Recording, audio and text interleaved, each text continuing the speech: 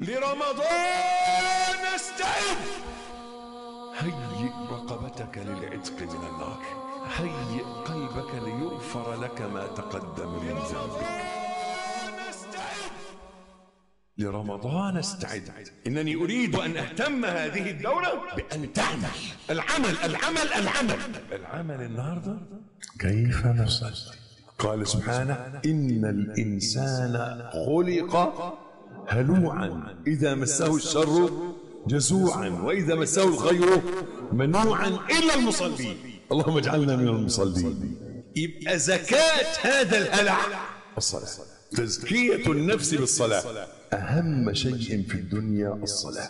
أهم شيء في الإسلام الصلاة. قال الإمام أحمد رحمه الله إنما قدرهم في الإسلام على قدر حظهم من الصلاة ورغبتهم في الإسلام على قدر رغبتهم في الصلاة. فاعرف نفسك يا عبد الله واحذر أن تلقى الله ولا قدر للإسلام عندك فإن قدر الإسلام في قلبك كقدر الصلاة في قلبك. الصلاة أهميتها عندك إيه؟ عارف وأنت جاي وأنت مسافر من أول ما خرجت من بيتكم الصبح أذن عليك الظهر ها؟ ساعتها إحساس قلبك إيه؟ الصلاة الصلاة الصلاة هصلي فين؟ عايز أصلي لازم أبقى عارف هصلي إمتى وأصلي فين؟ الصلاة محتاجة إيه؟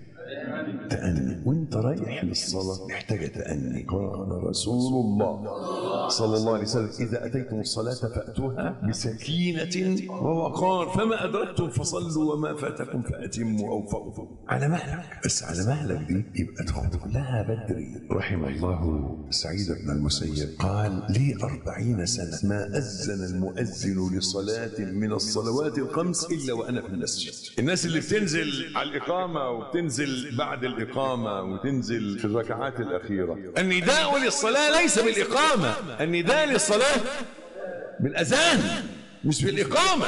وشرع بين الأذان والإقامة وظائف وأعمال. تحية المسجد السنة القبلية. والدعاء بين الأذان والإقامة. لا يرد وإدراك الصف الأول. وإدراك المكان خلف الإمام لو علموا ما في الصف الأول. ثم لم يجدوا إلا أن يستهموا.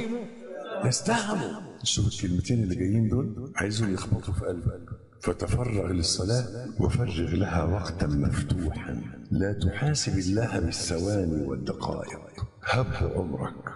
لا تستعجل في أدائها. لا تسرق من خشوعك وتنهب من إيمانك. الصلاة بركة فاصطبر وتمهل.